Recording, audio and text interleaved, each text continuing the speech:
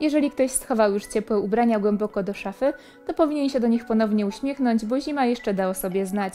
Marta Klimczak, zapraszam na prognozę pogody. Na Pomorzu, Kujawach, Warmii i Mazurach przewidziane opady śniegu. Na zachodzie możliwe opady deszczu ze śniegiem.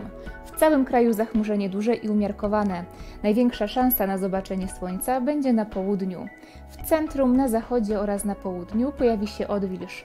Najsilniejsza na Dolnym Śląsku oraz w Małopolsce, gdzie termometry wskażą około 4 stopni. Od Mazur i Podlasia po Pomorze przez cały dzień utrzyma się słaby mróz do minus 3 stopni. Będzie wiał umiarkowany wiatr z południowego zachodu. Ciśnienie będzie się wahać i wyniesie 998 hektopaskali. Jutro na przeważającym obszarze kraju nasili się odwilż. Na południowym zachodzie i ziemi lubuskiej temperatura wzrośnie do 7-8 stopni. Jedynie na Pomorzu, Powarmie i Suwalszczyznę utrzyma się słaby mróz do minus 1 stopnia. Na północy popada śnieg, a na wschodzie przed południem deszcz. Wieczorem kolejne opady deszczu i deszczu ze śniegiem wkroczą nad zachodnią Polskę. Na teraz to wszystko, dziękuję za uwagę i do zobaczenia.